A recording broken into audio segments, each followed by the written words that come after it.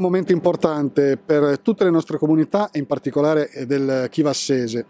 Oggi eh, si inaugura un impianto strategico per quanto riguarda lo smaltimento del percolato che oggi è presente al di sotto della discarica di Chivasso, la seconda più grossa del Piemonte.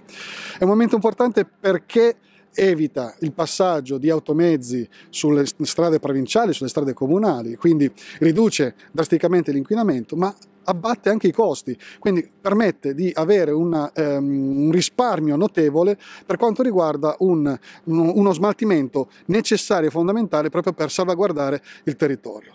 Terza e ultimo aspetto, nostro, la nostra comunità ha un impianto finalmente potenziato.